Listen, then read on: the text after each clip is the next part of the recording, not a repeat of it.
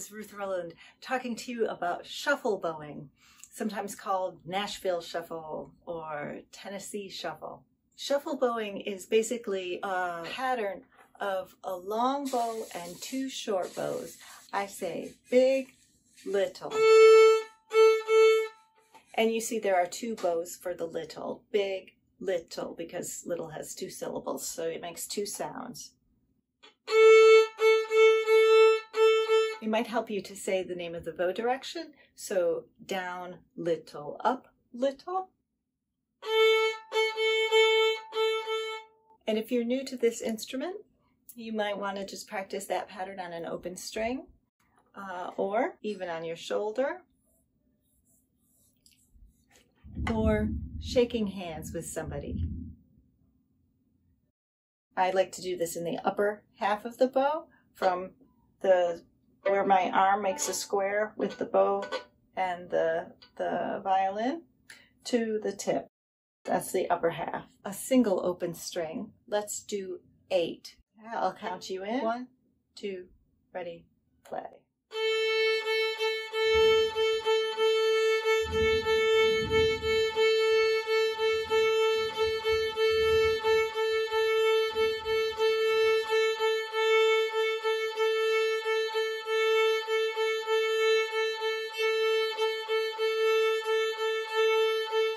Getting the hang of it. On the littles, make sure your wrist is very soft. The big bow is my impulse and everything else is a rebound. Down, rebound, up, rebound, down, rebound, up, rebound.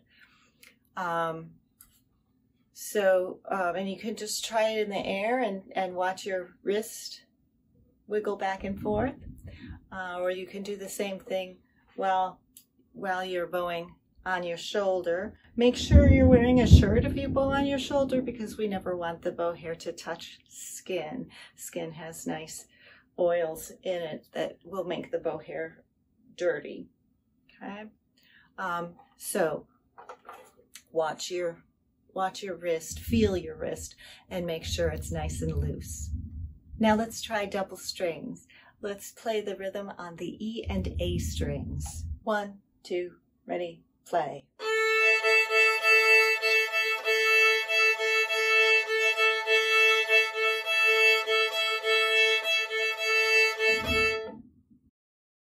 Good. Now the D and A strings. One, two, ready, play.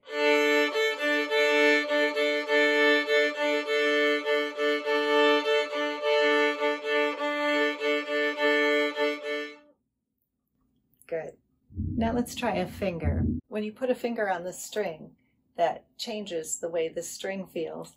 Um, the higher you are, the tighter the string is. So it's important to try the bowing with fingers before you try a piece. I'm going to put my second finger on the A string, um, put the first finger a space away from the nut, and the second finger a space away from it. So this is C sharp. One, two, ready, go.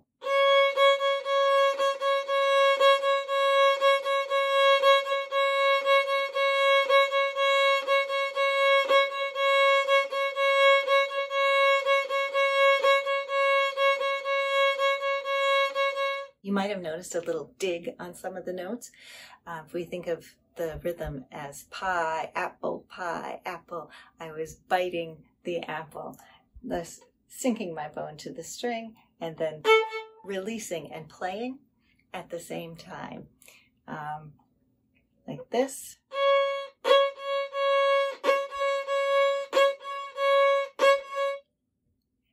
Kind of a characteristic thing to do with this shuffle bowing. Uh, put a little accent on what's called the offbeat. Now we're going to do a tune on a single string. We're going to play Boil 'em Cabbage. We'll start on that C sharp that we were just playing on, two and A. If you don't know the tune already, don't worry. I'll play it in little bits and you can pick it up as we go along. First I'll play and then it's your turn.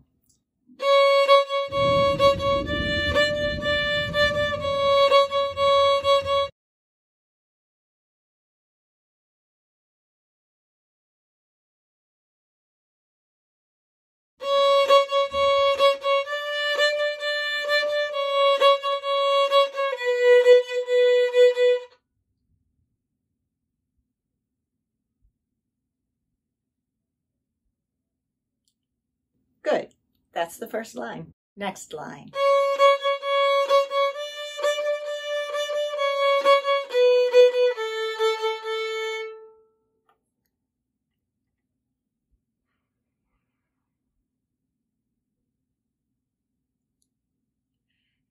Just the ending of that last line.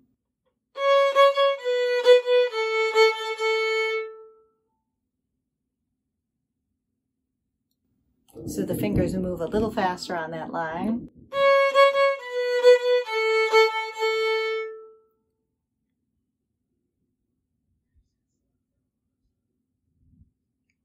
And now we'll put it with the beginning of the second line.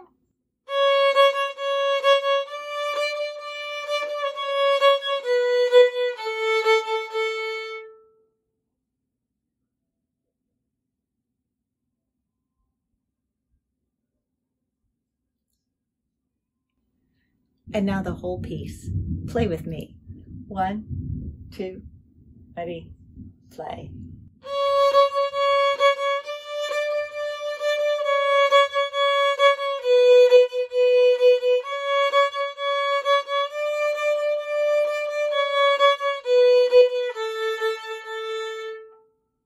Good. Now let's play an A scale.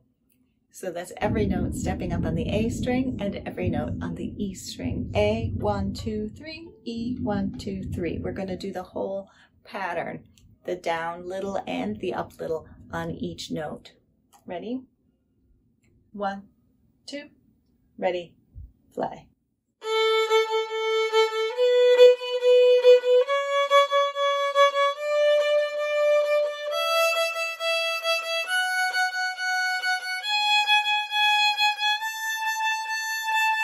And you can also do the scale down the same way. We're going to we're going to go down the scale, but we'll only do half the pattern, just the down little or the up little on each note. One, two, ready, play.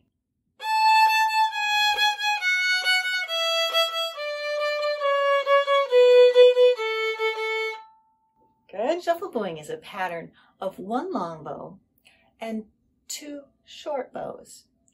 But in that long bow can be two short notes if we slur like this.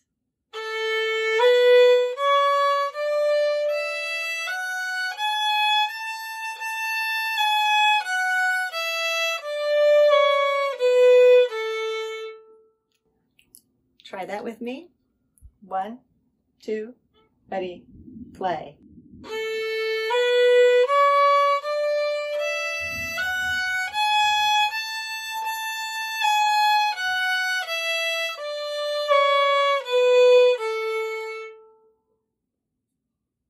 Little faster. One, two, ready, play.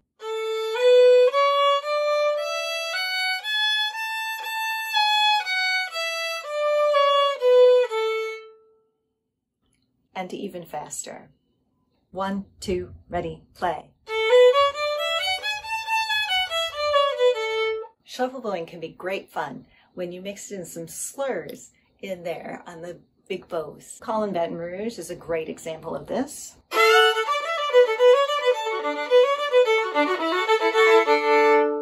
You can also take just plain songs and give them a fiddle style by using the shuffle bowing. Let's see if you recognize this tune.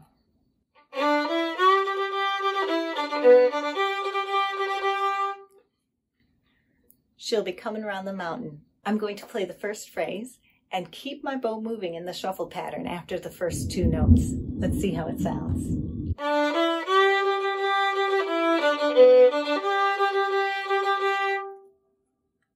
Pretty cool, huh?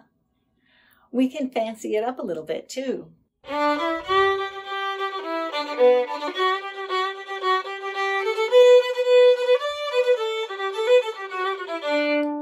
So you can have fun with it by throwing in extra notes.